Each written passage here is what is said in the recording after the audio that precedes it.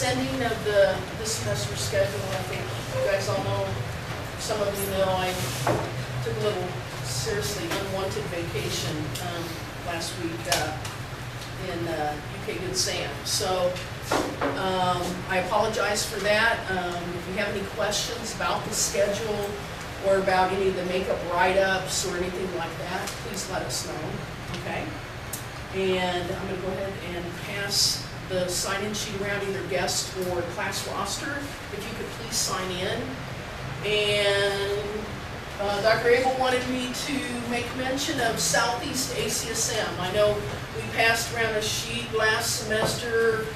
Remember, if you haven't registered, you might want to pre-register.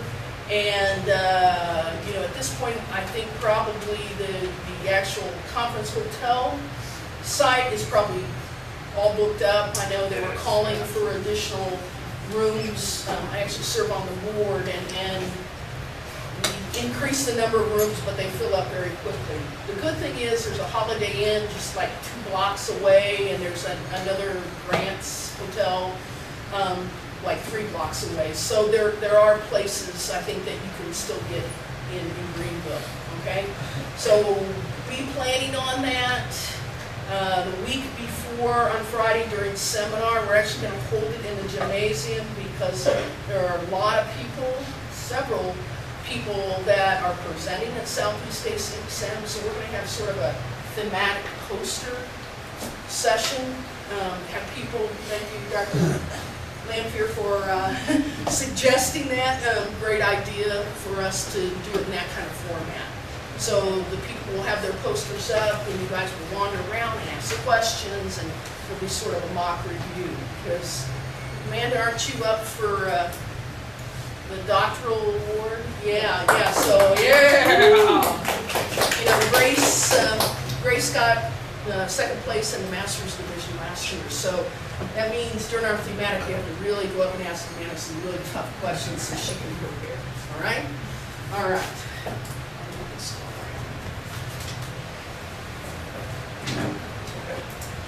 Um, Just a couple reminders, um, people are taking your, how many master students are taking, planning to graduate this semester? Master students, a couple? Okay. Doctoral students, okay. Um, For those of you that are gonna be graduating, you gotta take your written and your oral exams. And so the dates that we'll have set are March sixth through the eighth, it's over on the board there. Okay, those will be the written exams. In the past, we've had a whole week.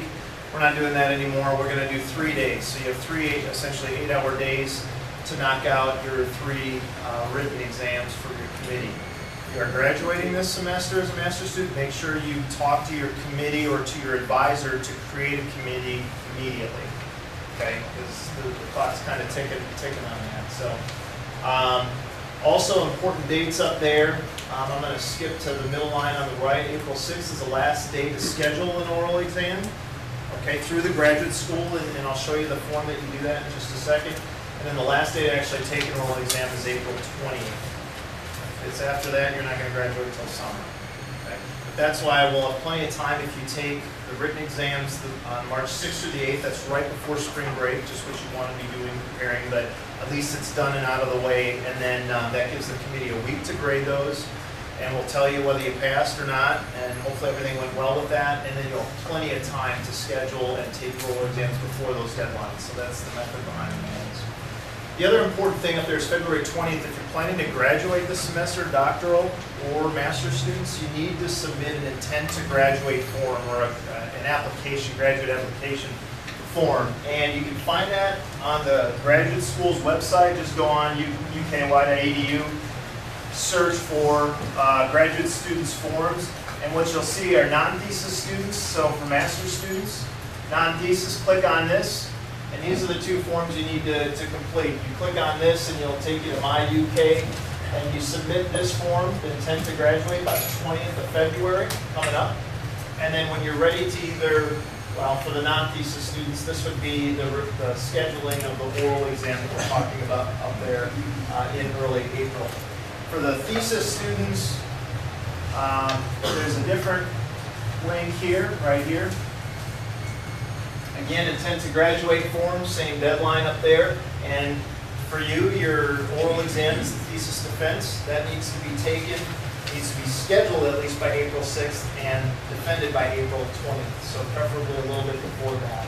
Uh, But that's the link you click on, and it'll have you, in both thesis and non-thesis uh, students, you'll have to put the committee members' names on that form and the date and the location that you're taking it in. Do not submit, if you're a master's student doing the non-thesis, do not submit this, this form, this schedule, until your committee has said, yes, you've passed. Now go ahead and schedule it. Graduate school doesn't really like it when you schedule and then we say, oh no, you didn't pass, and then they cancel it. It's not, I don't think it's a big deal that so.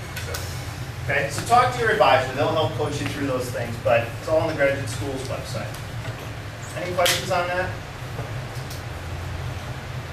Okay, I think we've taken enough of uh, Dr. Crandall's time here, so.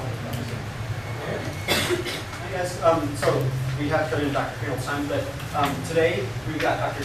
Jason Crandall coming to us from Western Kentucky University. He's gonna be talking, um, about some of his research and specifically about, um, Bingocize and how, um, kind of this novel integration of physical activity in community growing older adults. Um, so hopefully, um, it's something new and exciting for all of us. Um, and I'll turn it over to you. Great, thank you. First of all, thank you all for uh, being here today. I really appreciate the invitation. It's really an honor to be here to talk to you guys about uh, really something I've been very passionate about over the past few years. And you're going to hear a whole lot more about why in just a few minutes. But but first, um, just to kind of give you a little bit of background, maybe. This. Um, how many people in here are interested in working with older adults? Work with older adults? Wow. It's all right, no problem, no problem. Maybe I'll have a few converts after today, we'll see. Well, because you're probably not familiar with, with, um, older adults very much, but I'm sure you're familiar with the level of physical inactivity in the United States, the world for that matter. And older adults in particular are extremely sedentary, right? Here we got self-reported physical inactivity in adults over 50 years of age. Now, take a look at that map, we got a problem, right? Kentucky's one of the, the most sedentary states around. I lived in Utah and Colorado, go Utes. Um, you seem very, very active, but we're different here, you know? People are very sedentary. So it's an extremely big problem. And it gets worse as they grow older, as you might expect. And unfortunately, because they're sedentary, we're seeing a lot of chronic disease, which a lot of you are familiar with. And as we get older, we see more and more chronic disease. 92% of anyone older than 65 years of age has at least one chronic disease. 92%. 77% have at least two chronic diseases. So it's an extremely large problem. So, in addition to really affecting quality of life, there's lots of issues with falls. Fall prevention is huge today. You look at public health funding, grant dollars, a lot of things, a lot of money going into trying to figure out how do we keep people from falling, right? Because you can see that's a, it's a really bad trend, It continues to go up. Um, so it's, it's, it's an issue that we need to deal with, and there's several ways that we can deal with that. Um, one of them is through physical activity, but the problem is they're not doing it. Just found out, right? Well, there's been lots of research trying to figure out why they're not doing it, and there's some specific reasons. Number one, they're afraid, right? They're afraid that they're probably going to get hurt because a lot of them are already having poor health. They already have some issues, right? 92% have some kind of chronic disease. So that's a problem. They report that they're not active because they feel like they don't have any guidance. They don't know what to do or how to do it. And they don't see a lot of opportunities. Now, we may see opportunities that they don't see, but that is their perception. They don't have opportunities to be active. Now, there are reasons that people do participate in physical activity. Okay, it's not 100% sedentary, so there are some people being active. There are some older adults being active. And the reason that they're active is socialization. older adults really like to have fun and they like to be with other because often they are kind of shut out. They're secluded by themselves and anxious, depressed, so they like to be with other people. They will participate because it will improve their health. If they think that they can, it will improve their health, it's going to be successful, and you can convince them of that, they will participate. There's that guidance again, they want somebody to show them what to do. And there's the number one, enjoyment. They gotta like it, they gotta have fun, right? And that's really, goes for anyone of any age, but particularly older adults. They've gotta see that it's a fun type of activity. So that kind of brings us to this crazy thing called Bingocize, right? And you probably saw the name, I'm like, what in the world is that? And that's the typical response that I get, what in the world is this? And I have to tell you that this was a really serendipitous um, event that happened. So I got to give you the story. Back in 2011, I was a faculty member at a little tiny school in Owensboro called Kentucky Wesleyan High. Really, really small place, 700 students. So I didn't have a whole lot of resources, obviously. So I decided that I needed my students to go get some experience off campus. I've always been really interested in service learning. I think it's a great pedagogy to get students off campus working with people. So I decided to send him over to, a, to an independent living facility. Now, independent living facility is a place where older adults live, kind of like apartments, you know, all together, and they're still independent though. Because it gets a little bit of help, but it's not like an assisted living facility or a nursing home. So sent them over there, and I said, okay, guys, I want you to go over to this facility, and I want you to start an exercise program. Okay? So made their flyers, and they went over, and they did a little orientation with everybody, and they were all excited, right? And they, they came, hey, we're ready to go. So they scheduled the first session. They show up. Nobody else shows up. They're standing there by themselves. So they come back to my office and say, "Dr. Craig, what, what's going on? And they're sad. They did all this work. And I said, well, what do you think the problem was? He said, I, I don't know. We did all this work. But I think it might have been because everybody was down the hall playing bingo. Uh. And I thought, wow, there it is. There's the idea. So we decided to make this program called Bingocize. And basically what we have done is we take this multi-component program, you know, not unlike anything you guys have done or will do, but we strategically placed bingo into the program. So the whole idea here is to kind of sneak the exercise in, right? It's older adults love bingo. I mean, it is like a religion to many older adults. And we've got really, I think, creative ways of kind of working this in and marketing it to the older adults. So it is multi-component, so we focus on all the components of, of fitness that we know we need to be focusing on. Um, because older adults, like most people, don't want to spend a lot of time doing it. So we try to get everything in as quickly as we possibly can in these sessions.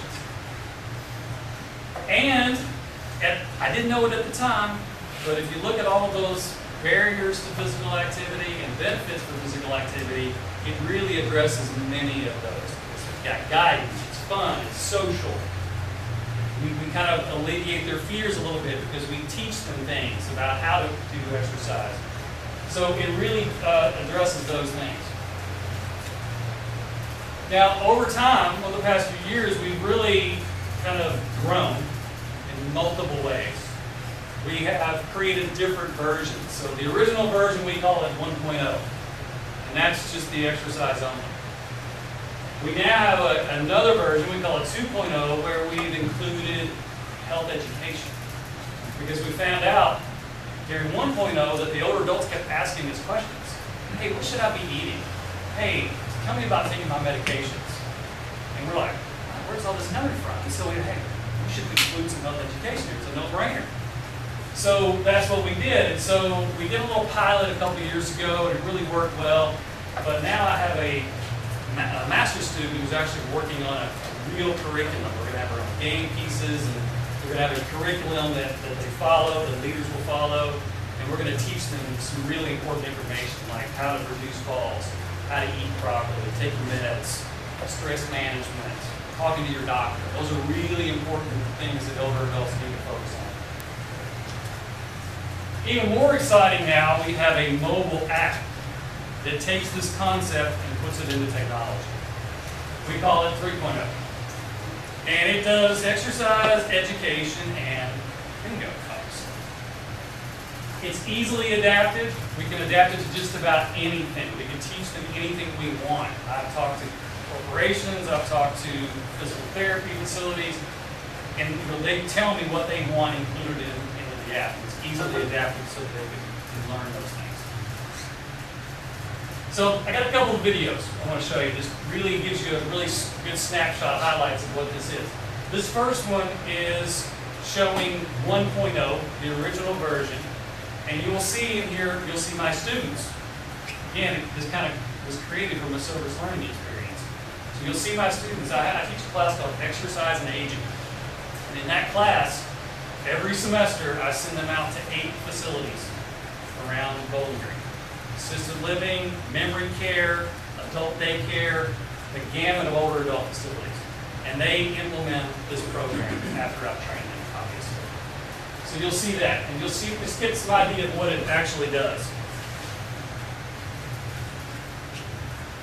If senior citizens have a choice between bingo and exercise, what do you think they'll choose?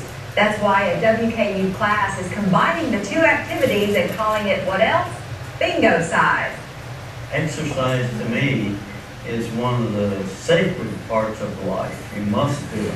John Stone and his wife have been residents at Village Manor since it opened nearly 18 years ago. He's very impressive as a 95 year old man who's probably the most energetic from the group and the most limber and up and ready to go before anybody else is ready. John is thrilled that WKU's exercise science class is bringing Bingocize to the facility once a week. It's much better than birthday bingo because it causes people to get up and move and exercise. On Thursdays, between 30 and 40 students fan out over six different Bowling Green facilities to combine a fun pastime with some light exercise. It's been very successful. We keep on getting new people all the time. Like, you like looking into the room and saying like, what's going on? What are they doing? They're playing Bingocize and exercise at the same time. Assistant Professor Jason Crandall, who founded the program last year in Owensboro, calls it service learning at its best. The residents are getting a a really great fun program, and the students are getting that experience. G57. One of our main objectives is to get a lot of people that are sedentary active. Using resistance bands, participants do at least two exercises between each game of bingo. They all want to gain a little bit more freedom in their life, and they know that this class can help them. They're pretty excited just to jump up and exercise with us. Bingo! But having fun is living. And bingo is just part of living. So I have to tell you, these two, this is, these are a couple, Mr. and Mrs. Stone. He is now 98, she's 97, they just celebrated their 70th wedding anniversary. They've been in the program since fall of 13, first semester. So they're, they're pretty awesome. They're- they're what we consider the elite older adults, they're on this end of the spectrum for sure. So, the second video shows the mobile app. Okay, this is, uh, this is in LaRue County, Hodgenville, anybody around that area? Probably not. This is. And this was the pilot for the mobile app, so this kind of shows you what that's all about. Sneaking in exercise during a favorite pastime like bingo seems like a great idea, so why not throw in some technology? It's happening with the new mobile app version of Bingocize, and some area senior citizens are more than happy to test it out. Really, it's encouraging to think that we can do this. I'm 76 years old and that's really helped my memory and, and all. It's time for Bingocize at the LaRue County Senior Center, but the bingo cards have been replaced with tablets. I told them all along, I said, this is a chance to make history because we're developing an app and it's gonna go worldwide. I think we all I really have celebrate. really enjoyed being the first to try this out and, and to get it to going. For 10 weeks, the senior citizens here are testing out the bingo-sized mobile app. Our goal was to teach them information they need to know about fall risk prevention and osteoarthritis. In the game, you will see that there are health questions that pop up that try to teach them that information. The manual version of Bingocize, incorporating exercise into a bingo game, was Dr. Jason Crandall's brainchild more than three years ago.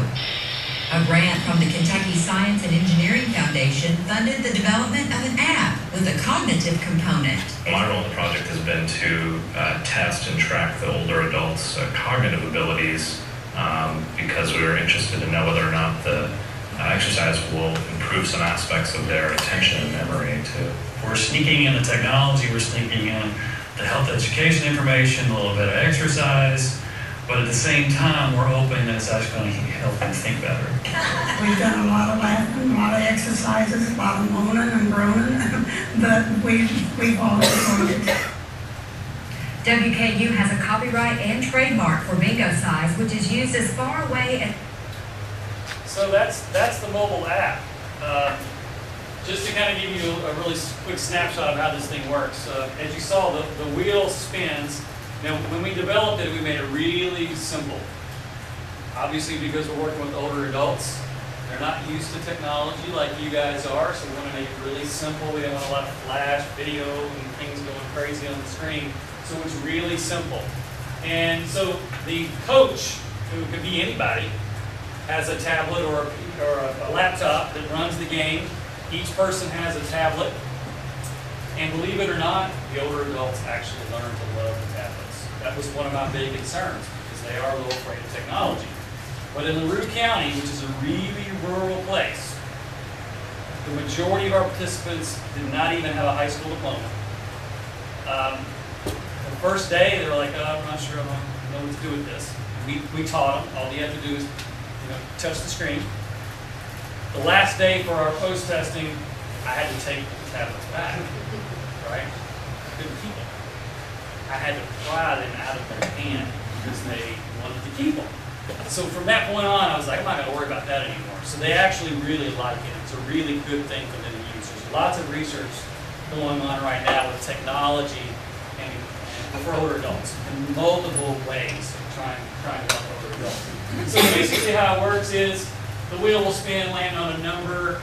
We build the exercise into the app. We build the health education into the app.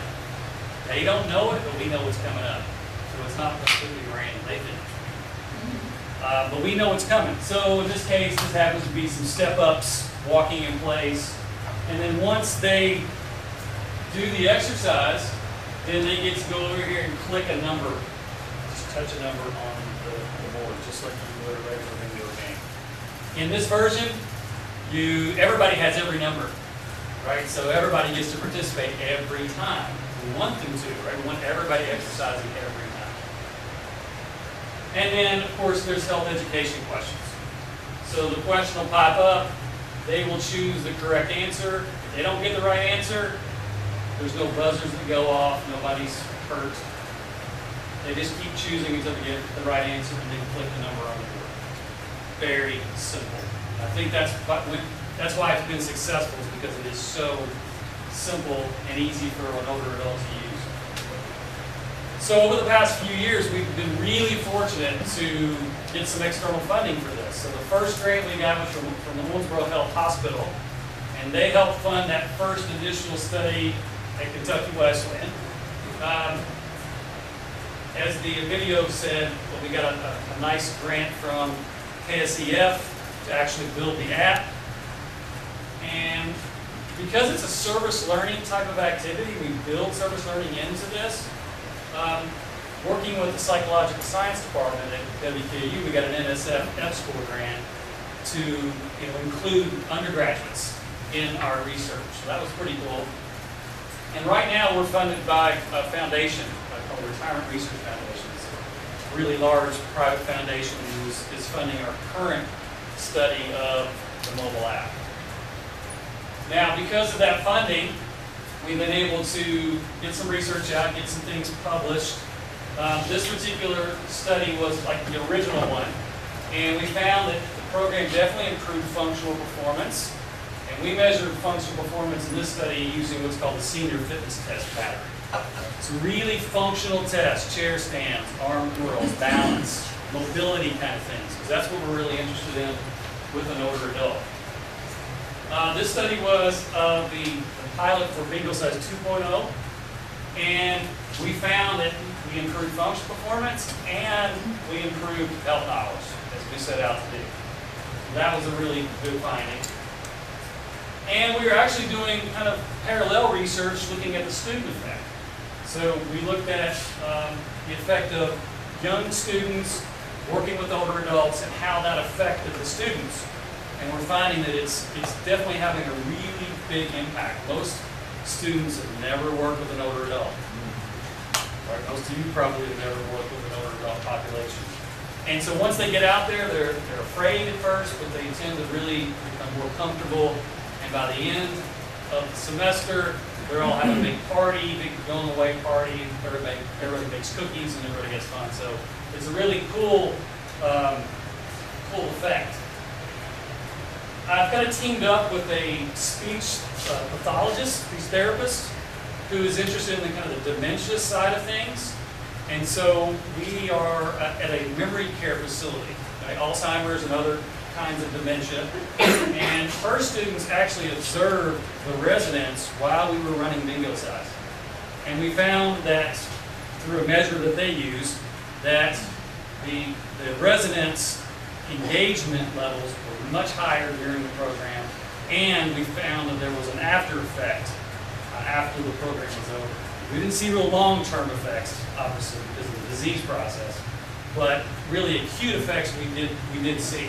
So they they presented that research, and kind of a whole different direction, um, looking at using the app with college students. And we did that in a pilot study, looking at trying to reduce stress.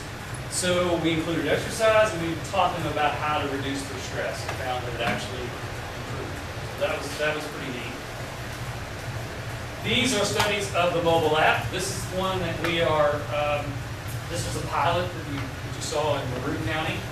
Again, improved functional performance, improving knowledge. Um, we also, of course, because we built the app, we teamed up with a computer scientist on campus. He was the one that actually built the app. So he presented his uh, research piece of the project in Atlanta at a health informatics uh, conference. And then currently, we are doing a, the, the funded study from the Retirement Research Foundation. We're looking at several different parameters. We're looking at what's called patient activation. Patient activation is, do, do people, are they more likely to seek out help about their health, about their health? Uh, we're also looking at gait, and I have my graduate student here, Dustin Falls, who this is kind of his, his project. Um, I'm not a biomechanist, so we got a biomechanist on his committee, thank goodness. But he is finding that we are definitely seeing improvements in gait performance through participation in the, in the program. Now, a whole different side of this is, is something that I wasn't really aware of and had no training. Okay, this is kind of that serendipitous effect. You know, I'm an exercise physiologist, and so this whole, whole health promotion thing was, was new to me.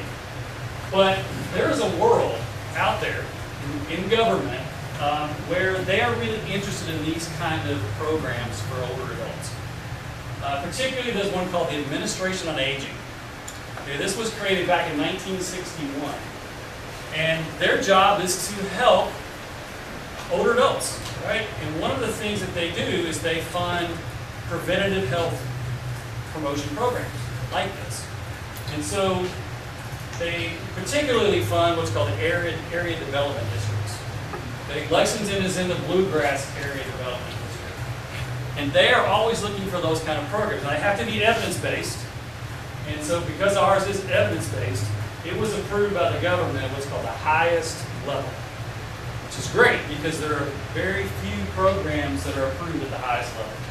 That allows them to use their money to purchase the program, to pay for training. Um, so, you know, I've, I've been all over the place in Kentucky training people to actually do the program. Um, So Kentucky's been big, we're working with Tennessee right now to do that. Um, 1.0 is in all of these states right now and, and continues to grow. And it's in all different types of facilities, assisted living, senior centers, memory care, um, certified nursing facilities. We'll talk about that a little bit more. So what are we doing right now? We're currently doing that uh, RRF study. We are going to be submitting an R15 um, pretty soon, looking at the effects of the mobile app. Uh, Of course, I already mentioned the, uh, my master's student's thesis, looking at 2.0. Really exciting um, happening last week. I was, I was in Indiana University training recreational therapists. You know what a recreational therapist is? That's what I thought. I didn't either.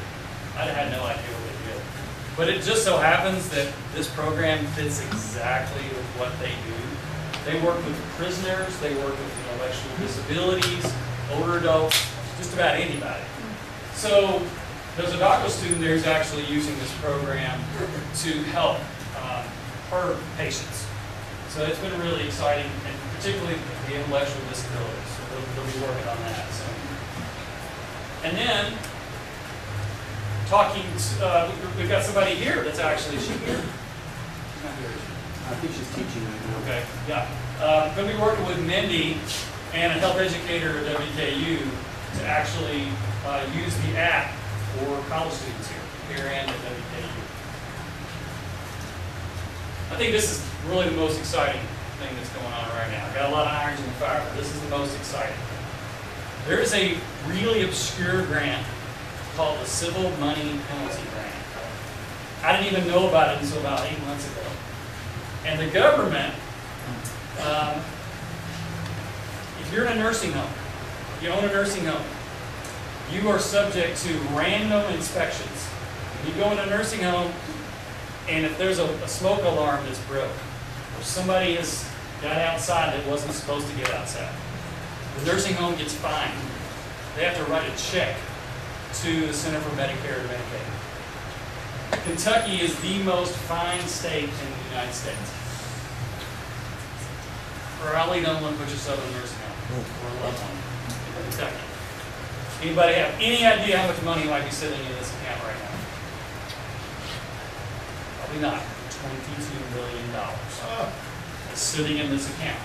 And it can only be used to fund projects that improve the quality of life of nursing home residents. Okay? It can't be a research project, it has to be a programmatic uh, project. So you already have to have your evidence. You have to show them that it's, it's worthy of their dollars. You can get up to a million dollars for three years once. So we have submitted this thing five times. We're resubmitting it again today. It's been a, it's been a long haul. Way worse than an NIH grant, way worse. But we think we're gonna get it after this round. So what are we gonna do? Well, we're gonna go into twenty certified nursing homes in Kentucky, and we're gonna implement this program. We haven't really done it much in nursing homes, so this will kind of be a new thing. We are partnering with all of these universities. Some faculty here have uh, agreed to participate, which is great. And so what we're going to do is we're going to train faculty, we're going to train students to go out to these nursing homes, work with the trained staff to implement the program. Service learning activity, but also we're, we're helping these residents the facilities. The objective is to train 300 staff 100 students, and impact over 1,000 nursing home residents over three years. So that's, that's what we hope to do. We'll find out soon whether we get the funding.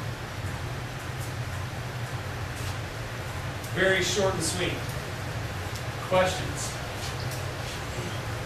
Yes? I'm not sure what a recommended frequency, I, I noticed in the video, they say once a week. They were initially doing it, but Yeah. Now, the only reason for the once a week is because I work it into my class. That particular program in my class is, I don't really expect to get a lot of physical benefit for the residents. It's more experience for my students, the social engagement piece. So I haven't, that's not really my goal. My goal is to get them out there working with older adults and, and engagement. Um, and it's only once a week because of the class time. I do that once a week, and then I'm in the classroom twice a week, where we kind of reflect on what's going on, um, you know, tweak things that need to be tweaked and so on. But I would prefer, in the other facilities, two to three times a week, you know, per ACSM guidelines. And we, we're always talking about doing additional activity. You know, this is not going to cure everything. You know, it's just a way to kind of get them more active. You know, what, what we found is the people that are, that are doing this are not the people that are already doing Zumba or SilverSneakers or something like that. These are the people that are doing nothing. They're the bingo people, right? So um, it's what I consider is kind of a stepping stepping stone. It's the first step to get them more active, and you know if that's all they do, great. But we want them to do more, to do more. Within the individualized exercise, are, are there progressive levels or, you Yes. know? Absolutely, absolutely. And, and we don't want to get rid of the group effect because that's really important. That's what kind of made this a success. But there are times when I prefer to work one, or one-on-one because we have such a heterogeneous group of older adults, you know. One 65-year-old could be elite, another could be in a wheelchair. So it's, it's really, uh, difficult sometimes to do that. But yes, we do progress along, along the way. Um, I have a question. So you said everybody has every number Do you want everyone to do every exercise. Yes. So how do people win? Oh, you just keep going. Well, the, the, the, the cards are random.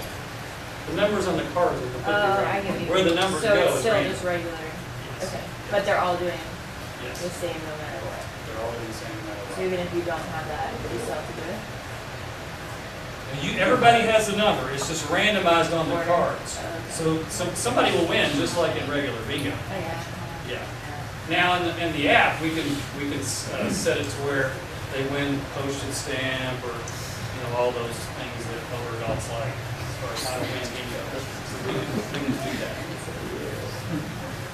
I'm sorry to monopolize here. Has this been introduced to faith-based organizations? Um, you know, a lot of people can't afford nursing home care and, uh, you know, thank goodness, a lot of times churches are involved in senior programs and It- I don't know, maybe they consider it gambling.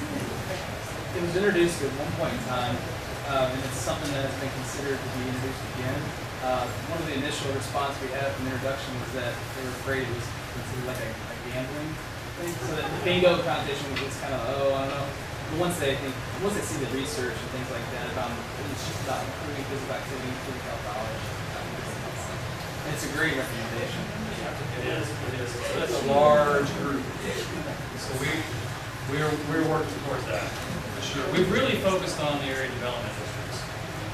Because the network is already there. Um, you know, I'm working with KIPDA in Louisville right now, and they've got all those counties around. So we can make really quick connections with the senior centers to get, get in there.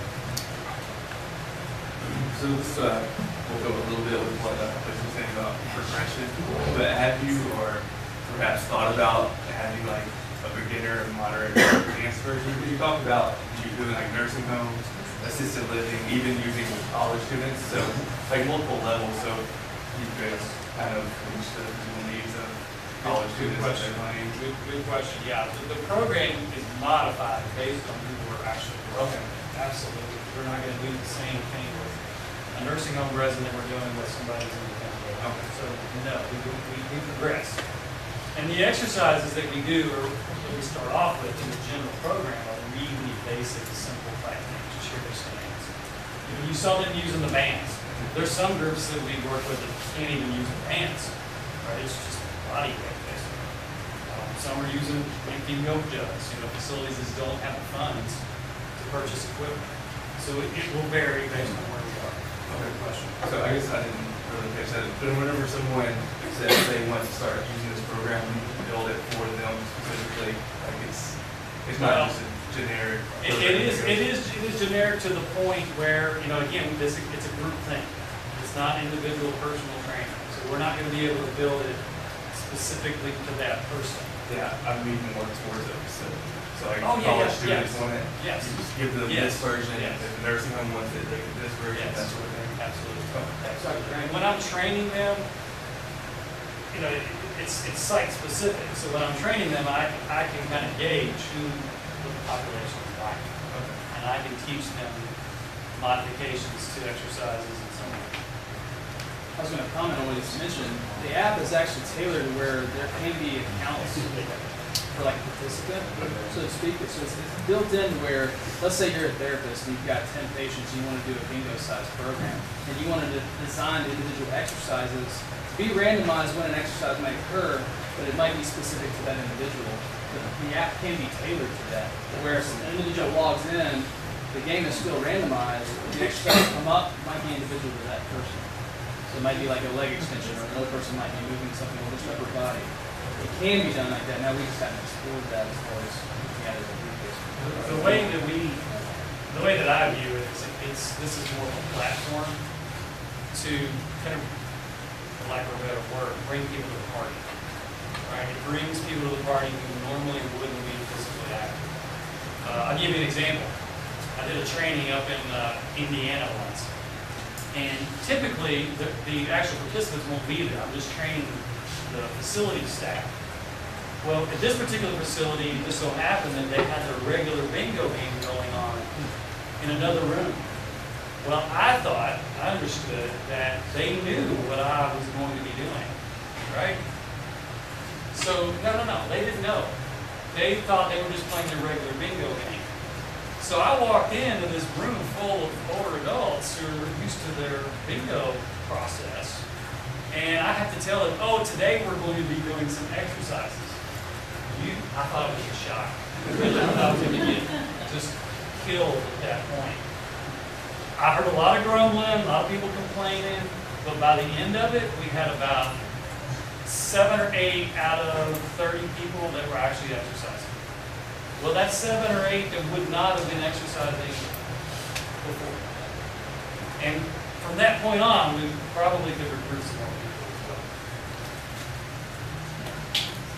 Um, you talk about, uh, like patient education being built to the program. Do you have avenues and recommendations for people to continue their exercises, say, safely at home? Or Yes. that? One of the things, we have a module in, in the app that where we teach them about, you know, what is exercise? What, what's it, what are examples of physical activity? You know, we, we try to really, uh, talk about physical activity, not just exercise. Um, because they don't have a lot of exercise classes they can go to, not gonna go to the often, so we need to try to teach them, hey, just walking up some steps is better than taking the elevator. So yes, we do teach them that during the sessions. Yes. This is a little bit off the topic, but I, I noticed the copyright symbol. And I, I think it would be important, if you can, to share a little bit, who owns the copyright on this? Is the university, was in any way, you know, NIH has a system, SBIR, small business initiatives or anything like that, but do you own the copyright on that? Or Good because you were working for Western at the time, or do they own it? or- Actually, I, I was at Wesleyan when I oh, created this. Wesleyan being a very small school, had no idea what, I guess what they had. Mm-hmm. And so when I went to WKU, they had the resources for me to go through this process of getting it trademarked, getting it copyrighted and so on. Um, I started off with my own business doing it, but I thought, you know what, I don't want to be a businessman, I want to be a professor, right? I like, still like working with students. So I'm, I'm kind of in cahoots with Western now. So I get a percentage, I get a percentage. The, you mentioned SBIR, the KSEF grant was given to us with the intent that we go after an SBIR. We did apply, didn't get it unfortunately. Um, So, does that answer all your questions? Yeah. Okay. Yeah. Yeah. Now, what I want to throw out there, one of my main reasons for being here today is um, I love collaboration. Right, you saw that I collaborate with a lot of different disciplines, a lot of different types of people. Um, so if there's, you are interested in something that you think might fit with this program, I am more than happy to talk to you about ways of collaborating. I mean, I've worked with psychological science, PT, um, computer science, recreational, you know, it just, it's all over the place. Because there's lots of ways to, to integrate those professionals into the program. Social work, nursing, just goes on and on and on. Safety. Ma- Amanda's here. Want to introduce yourself? Hi, I'm Amanda Rist. I am the injury prevention and outreach coordinator for UK trauma program. Um, I'm a registered nurse is my background, um, but I specifically look at, um, how many patients come to our hospital. It's a small portion of the hospital as a whole, but, um, who comes in for trauma and why they're coming in for trauma. So with that said, hopefully this will change your mind about older adult falls. Um, of the older adults that we see that come in for trauma, motor vehicle accidents, accidental falls, you know, violence, all of those things, over s- well, sixty-five percent of them, ironically, is, um, there for falls. So falls is huge, um, and that's just, it's probably even more because that data does not show, um, those who fall from standing and breaking hip. That's in a whole other subset of numbers. So it's probably even higher than that. Um, it's the number one reason why an older adult is going to be injured and hospitalized for an extended period of time and mortality. Um, that's just, So she works with Think, First, which is something you probably never heard of. I'd never heard of it either. Yeah, that's a National Injury Prevention Foundation. Um, I am the Kentucky State Chapter Director, and I also serve as the, um, current chair for, on the National Board of Directors. Um, so they have a fall prevention program that, um, they own the rights to, but, um, being a nation, a global program, um, we have chapter directors all over the United States that implement fall prevention activities, um, but also, um, you know, across the broad spectrum of life. So car accidents, helmets for kids, um, pedestrian safety, stuff like that, but, um, falls is, um, a public health crisis for the older adult population. And it is not just in the community, it's actually inside the hospitals as well. Correct, yeah, that's a whole other, yeah. There's a community-based fall risk, and then there's inpatient fall risk, um, not just for older adults, but for everyone. Um, but that is a, a big reason why people stay in the hospital, especially older adults. Um, they're already at high fall risk, um, because they meet some sort of criteria, um, and then they get injured, um, and then they're in the hospital, so now they're at even higher fall risk, so. Thank you. Other questions? Great, so if you have any more questions or you, you have some ideas, uh, feel free to shoot me an email and talk.